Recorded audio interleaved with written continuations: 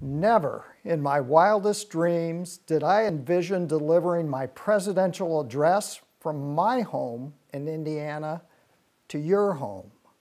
A first among many firsts that have been a direct consequence of the COVID 19 pandemic, a disruptive force the likes of which has not been seen for over 100 years.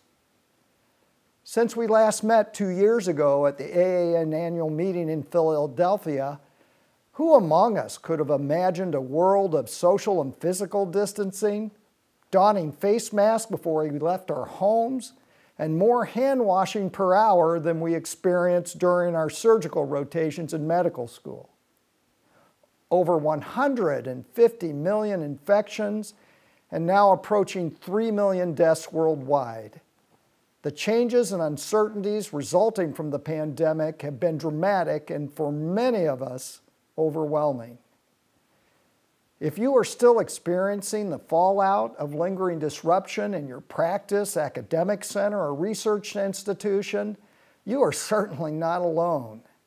And I want to share with you how, through lessons I learned from my father, I was able to implement a process which tackled these disruptive changes head on, and as a result, found solutions for success.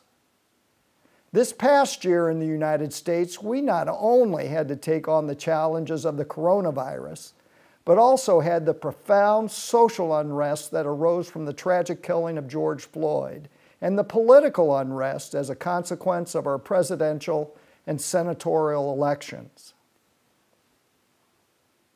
Changes that resulted from the declaration of the public health emergency in March 2020 included the immediate closure of the AAN headquarters, closure of many of your practices and clinics, closure of research labs, and a halt to traditional medical education, and the cancellation for the first time in our 72 year history, the AAN annual meeting in Toronto. Challenges that resulted from the extreme social unrest, riots breaking out across the U.S. last summer, and the emergence of extremist groups from both the right and left intent on continued disruption. Our most recent political unrest as a result of our elections, with the January 6th breach of the U.S. Capitol building and the second impeachment of a sitting U.S. president. Now, certainly, just one of these disruptors would have been more than enough for an organization to address. But all of these, within a year's time, felt like the perfect storm followed by a tsunami. How in the world were we going to cope? When it came to such uncertainty and how to approach it, I hearkened back to lessons that I learned from my dad. Two years ago, I made brief mention of my father, who came from a low income home in which both parents worked in a chicken hatchery in order to make ends meet for their family of five children. My father held a paying job since age seven in order to help supplement the family income during the Great Depression. Although no one in his family had ever attended college, he was determined to become the first to do so, and he made an assessment of what it would take for him to pay for this endeavor. He noticed when he visited the hatchery that individuals who held the position of a chicken sexer made a very decent income. For those of you who may be unfamiliar with this particular job description, their task was to determine the gender of a newly hatched chick, whether it was destined to become a hen or a rooster, which back in the 1940s took some considerable skill. My father saved money from his other job so he could pay for attendance to a chick sexing school in order to attain a certification that would verify his competency in determining the chicken's gender. Now, the curriculum and payment methods of the school were very interesting, as you might imagine. You paid the school on a weekly basis, and you were not allowed to leave the school with a certificate until you could correctly determine the gender of 100 chicks in sequential order with a greater than 95% accuracy. When my father arrived to the school, he found there were people who had been attending for months as they could not quite get over the hump of achieving the 95% threshold. My father, who had very limited funds, was counting on his keen eyesight and belief in himself to pass the course in as short a time as possible. Thank goodness he was able to pass. Here's a picture of my dad with his certificate. In a mere two weeks, he was able to start his college fundraising mission in earnest. He attended college his freshman year, and every weekend he would hitchhike home in order to work in the hatchery in order to raise money. Now, counting on being able to hitchhike successfully and safely is a fairly foreign concept to most of us today. And I never thought to ask my dad how many times did he cut it close to the wire getting to and from school. He obviously determined that the most economical way for him to accomplish his goal was via this mode of transportation, and he executed his plan with persistence and determination. Even though he required to take an entire year away from college in order to raise enough money, in the end, he was able to graduate and went on to postgraduate school and later enjoyed a successful professional career in dentistry and as a leader in his state and national societies for his profession. Go figure. I unfortunately lost my father in 2019, six months after beginning my presidency, and it saddens me that he's not alive to hear his son give a nod and thank him for the lessons taught and how I've been able to apply his approach to my current position and circumstances. I'll summarize this process taken from his story as follows. Number one, assess your situation. Be very intentional and as thorough as possible in fact gathering. Identify the biggest obstacles and the biggest opportunities, whether they may concern economic impact, safety and wellness, logistical issues, technology, whatever the main issue might be. Number two, focus on what is most important. For my dad, it was financing an education that would lead to a professional career. For the AAN, it's our mission and our vision statements, the North Star for all of our decisions. Number three, formulate an action plan and execute it. Be disciplined and set targets and metrics to measure. My father kept a log concerning his college expenses and paychecks from the hatchery knowing precisely how much money he needed to raise. The AAN keeps a scorecard in which targets are set and progress is measured on a continuous basis. Number four, communicate. The AAN is kept connected with our membership throughout a multifaceted approach which has been constant and consistent in its messaging. During the pandemic, it has been particularly critical that we stay connected with a constant flow of information to and from the membership. And number five, persistence and determination win the day. Much like my father's example, the solutions weren't completed without considerable focus and persistence over a period of several years. The AAN also has a long-term multi-year focus plan which has required commitment and dedication from our members. Let me emphasize this last bullet point by referencing a few quotes from a diverse group of observers. The first is from the New York Times best-selling author Angela Duckworth, who wrote the book Grit. As much as talent counts, effort counts twice. Again, as much as talent counts, effort counts twice. The next quote comes from the world champion baseball manager of the Los Angeles Dodgers, Tommy Lasorda, who said the difference between the impossible and the possible lies in one's determination. Again, the difference between the impossible and the possible lies in one's determination. And perhaps my favorite quote addressing this critical point comes from the 30th President of the United States, Calvin Coolidge, who said, Nothing in this world can take the place of persistence. Talent will not. Nothing is more common than unsuccessful people with talent. Genius will not. Unrewarded genius is almost a proverb. Education will not. The world is full of educated derelicts. But persistence and determination alone are omnipotent. In January of 2020, we held our annual AAN Board of Directors retreat, which is based on a selected topic which we discuss over a two or three day period. This past year, we invited a futurist to help us formulate possible scenarios ranging from the optimistic to the expected to the abject disaster. Little did we know at that time how prescient this exercise would prove to be. Although we did not have a worldwide pandemic on our list, the lesson from discussing the scenarios in that disruption and the uncertainty that comes with it are inevitable. But the possibilities for successful solutions always exist. By implementing the focused five-part approach, I'm pleased to report that the 2020 and 21 story, while not completely written, has been one of a resounding success.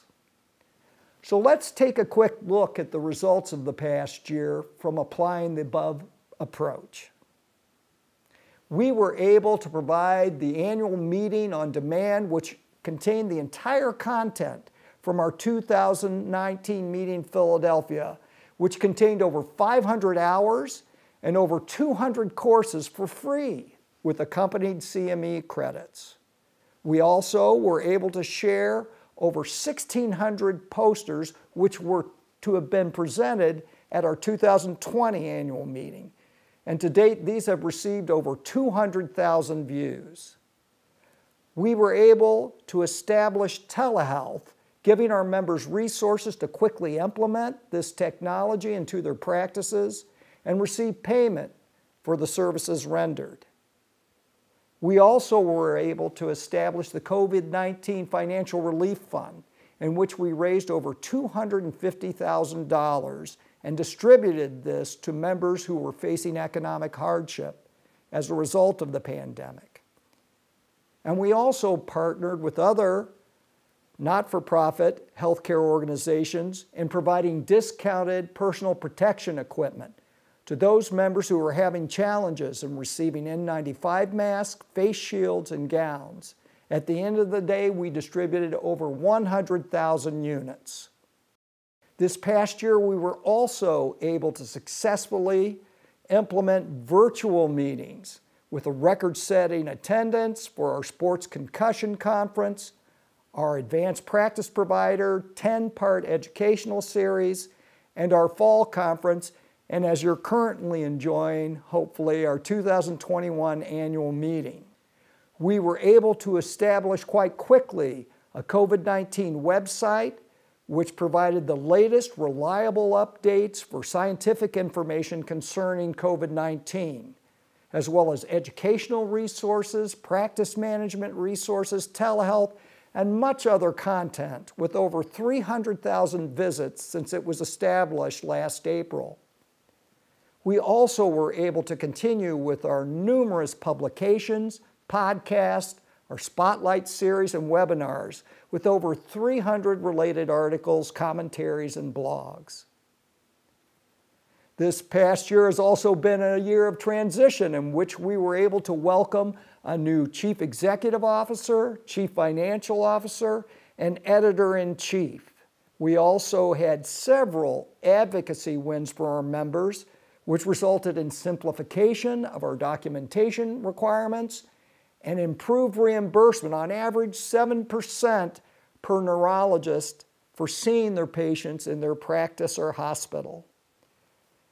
Telehealth became permanently implemented as a tool enabling timely access for neurologic care.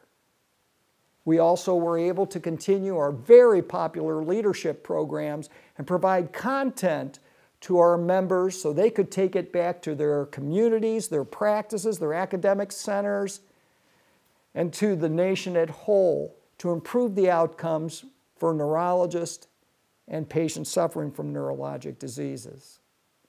A real joy and privilege of being president is that I get to assign task forces, and during my tenure, I was able to establish the general neurology, patient and public engagement, and industry relations task forces, which provided information back to the board of directors, which we will use to implement for our 2021 strategic plan.